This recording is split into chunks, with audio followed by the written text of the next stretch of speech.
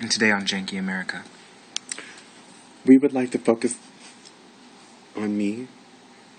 The show is on me. Okay, What? I have a problem. Okay. What is your problem? Well, my problem is I would like to say it's my problem before it's It's a urinary tract infection. I didn't get the test results back yet. What?